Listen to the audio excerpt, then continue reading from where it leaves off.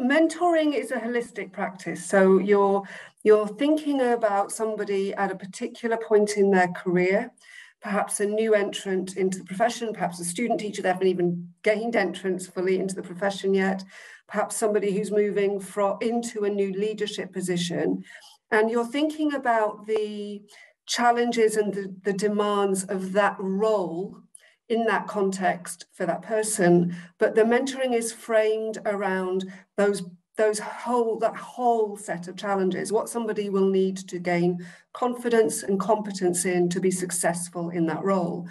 And typically a mentor is somebody who has recent and relevant experience in a similar role not necessarily exactly the same job maybe not the predecessor somebody who's moved up into a new post but somebody who's got a real familiarity with that with that job and that context who has